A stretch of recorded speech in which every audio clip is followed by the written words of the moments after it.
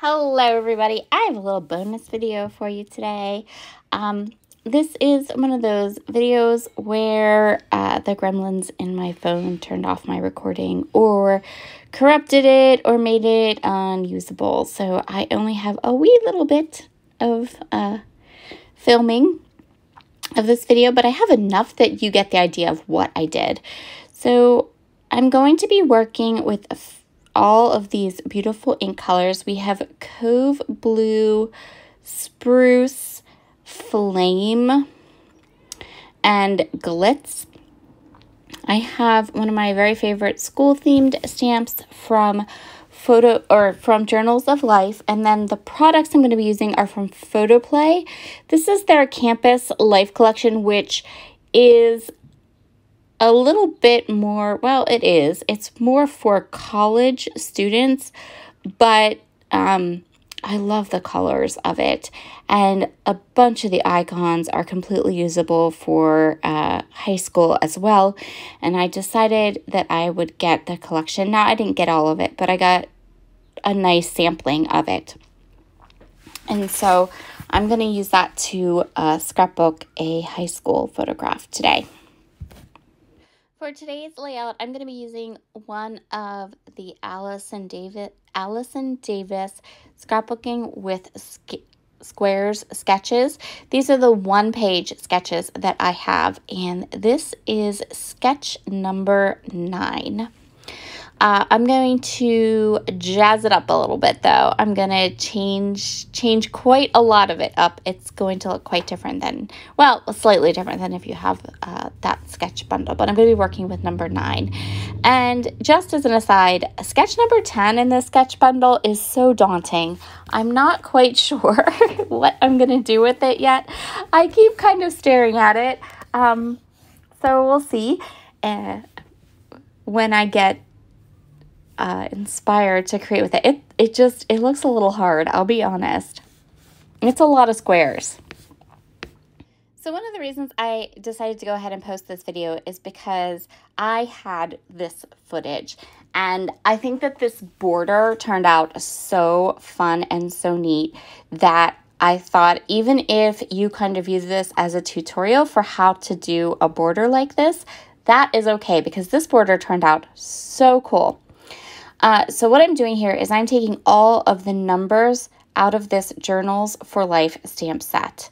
And what I'm going to do is I'm going to alternate the colors and the numbers, and I'm going to create a stamped border around the entire edge of this 12 by 12 sheet of paper.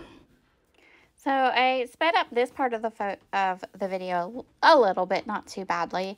Uh, I'm going to use my ginormous Misty and I'm going to use acrylic blocks for this. Because I am switching between colors and switching between stamps and I'm, I want to turn the stamps and alternate them and I'm using some really pigmented colors. So these colors aren't going to need to be stamped more than once. It just seemed easier to do it with an acrylic block than to do it with a with the the door of my Misty. That being said, my Misty is still an amazing tool, even if you don't use the door. I say this all the time.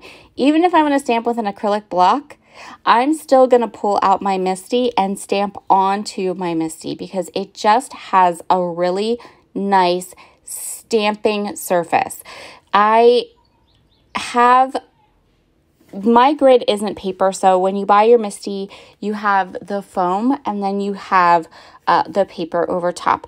I actually went on to mysweetpetunia.com and purchased a 12 by 12 like permanent mat so that isn't paper, it's like a non-stick, not silicone, but like a, a surface that you can stamp on and it wipes right, off. Uh, and I don't have to buy those pads of paper to stamp on. I can just use that permanent stamp. So it's a little bit hard. It had on top and then underneath the initial layer, there's all this black there's a nice thick piece of black foam that gives it some some give and it's just a wonderful, wonderful stamping surface. I absolutely love it. So even if I'm not going to use the Door to My Misty, I'm going to use the mat So you can see here how I am just spinning the numbers around. I'm using all different numbers. I'm using um, all these beautiful colors and these colors that I chose, you kind of saw at the beginning I had my swatch book out. So the colors that I chose to swatch from my swatch book like match the tones in this collection perfectly. I found really, really good, good matches. So I was really happy with them. And again, if you have this collection and you want ink to match, it is Cove Blue, Spruce, Flame, and Glitz. And I will uh, list them in the description box for you. So if you want them, you can grab them. And if you haven't gotten a ginormous Misty yet, I really, really, really recommend it. If you're a 12 by 12 scrapbooker, if you want to be stamping better, if you want to be stamping more, if you don't want like a stamping to feel like a daunting task, this tool is like the most amazing thing. So there is my border, all done, all stamped. And now I'm going to cut my pattern papers into all of the square squares. And this is where I kind of lose, lost a whole section of footage because we're going to go from me cutting the squares to all of the squares already being cut, already totally cut and onto the page. And I also used that exact same journals of life stamp set. And at the top of my page, I stamped first day. And then at the bottom right of my page, I stamped 11th grade. And now I'm just going to embellish most of the empty squares that you see here with some of the stickers from the 12 by 12 sticker sheet. So I when I bought this, I bought two 12 by 12 sticker sheets and they're different.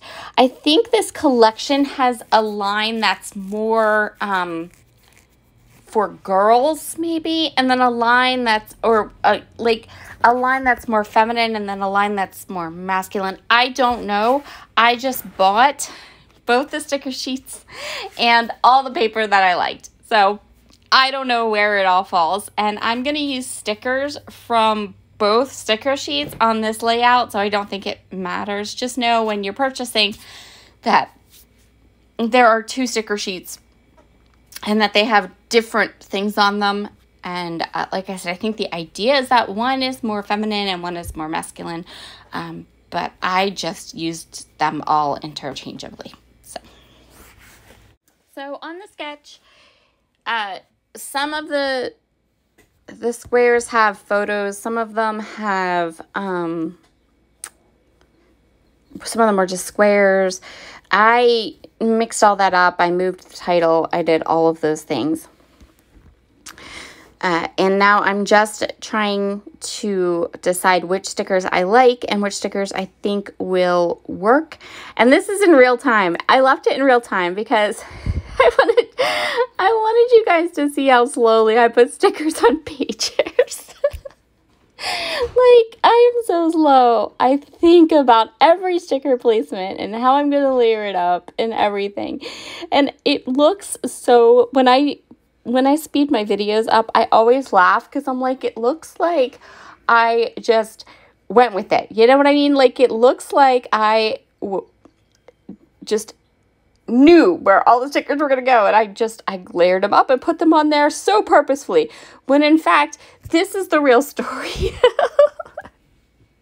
and this is where we're going to call this layout all done. Thank you so much for joining me today. I hope you enjoy this little kind of different video. Um, a little bit broken up a little differently than normal. And uh, yeah, I will link up uh, the inks in the sketch bundle that I got from Allison Davis. And uh, have a wonderful, wonderful weekend, everybody. Bye.